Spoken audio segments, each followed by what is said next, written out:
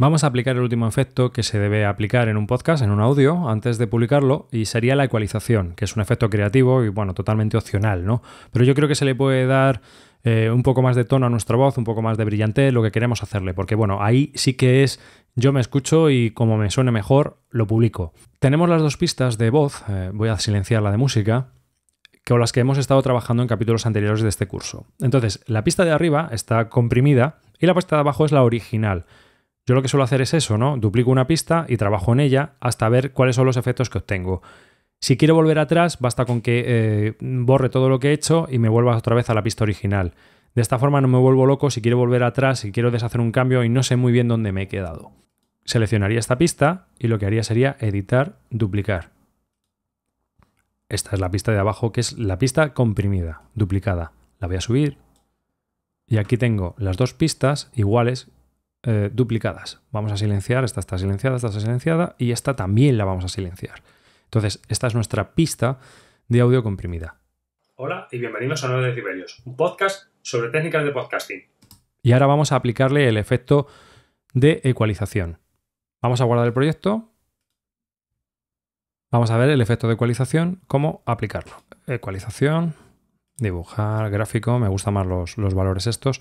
Antes ya habíamos aplicado un valor de filtro de paso bajo, filtro de paso alto. Así que ahora aquí lo que vamos a hacer es potenciar. Entonces voy a subir un poquito los 200 hasta los 3 decibelios, ¿eh? un poquito por ahí.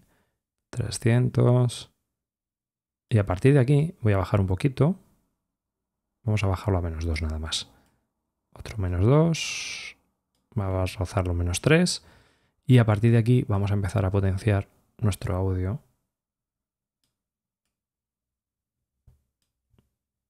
de forma que quede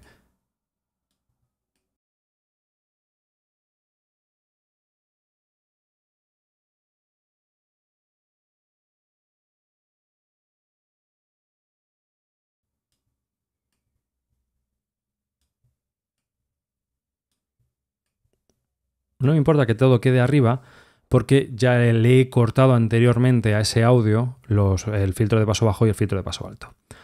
Bien, esto se puede guardar.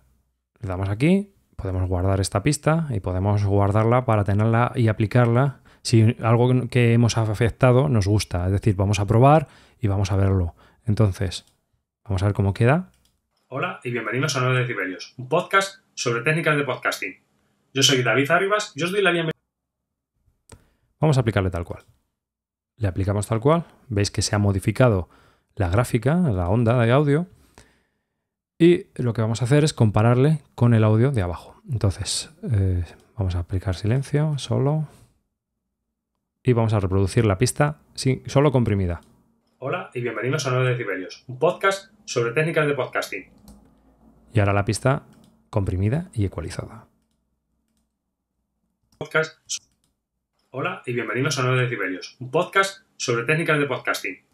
No hay mucha diferencia, con este micrófono, pero con otros sí se notará más. Pero bueno, que sepáis que es una de las opciones que tenéis, que es modificar vuestra voz eh, de esa manera, ¿no? Yo os he mostrado un poco cómo lo hago yo.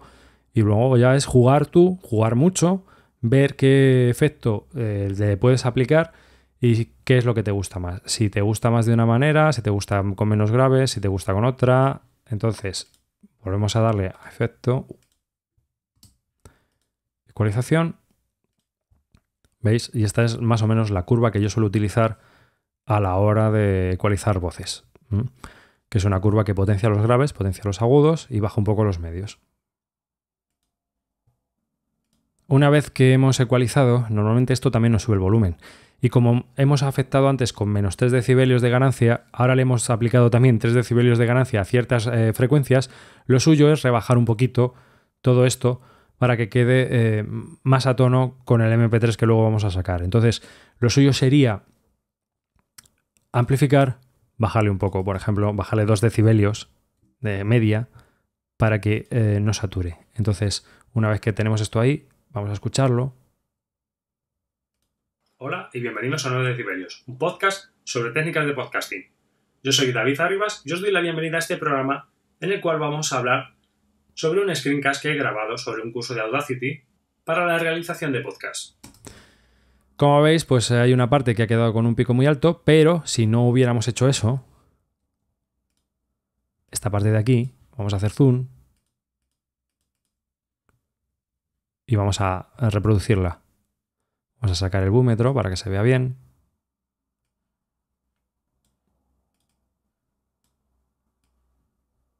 Yo soy David. ¿Veis? Si os dais cuenta, esta parte de aquí satura y distorsiona. Así que hay que aplicar ganancia y reducirla porque si no podemos producir una distorsión y una modulación de nuestra voz. Si es solo uno en dos horas de podcast no pasa nada, pero si esto se repite continuamente a lo largo de nuestro audio puede ser muy molesto para el oyente. Entonces, cada vez que aplicamos un efecto creativo estamos subiendo los volúmenes y por lo tanto debemos amplificar en negativo, debemos reducir la ganancia 1 o 2 decibelios cada vez que aplicamos, por ejemplo, en el ecualizador. Si hemos aplicado en ciertas frecuencias 3 decibelios de ganancia, pues luego tenemos que reducir un poco la media, ¿no? 1, 2, 3 decibelios incluso para que vuelva otra vez a, rebajarse todo el volumen. La, dinámica sigue siendo consistente, porque si comparamos la dinámica con respecto al audio que no está comprimido, bien, voy a quitar el silencio también, voy a restaurar la barra de herramientas. Entonces vais a ver que es, eh, si veis las dos ondas, son iguales, pero son muy diferentes. La superior tiene mucho más volumen en general que la de abajo. Así que no pasa nada porque reduzcamos un poco el volumen general amplificándolo en negativo y así eh, evitemos las distorsiones.